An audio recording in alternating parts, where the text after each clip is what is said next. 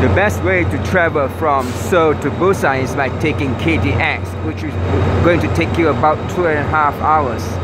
To take KTX, go to Seoul Station. There are many tracks.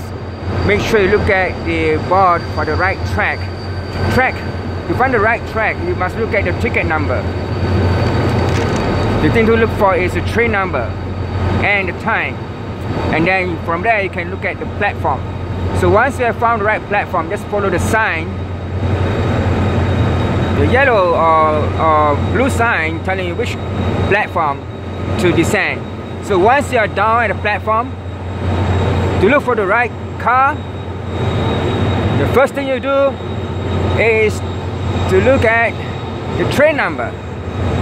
Make sure the train number is correct. As you can see, the train number should match the ticket train number and the destination.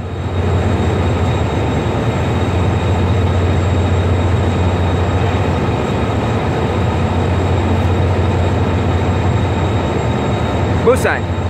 Then look out for the right car number which is printed just next to the door and once you mount the car you can look out for the right seat number which is also printed on the ticket the ticket can be printed online when you visit the Korail website and you can do the payment by credit card.